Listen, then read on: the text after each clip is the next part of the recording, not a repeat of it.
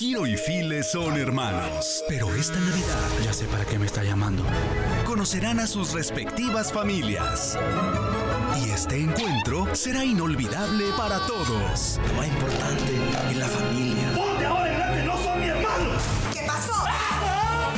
La película más taquillera de Honduras.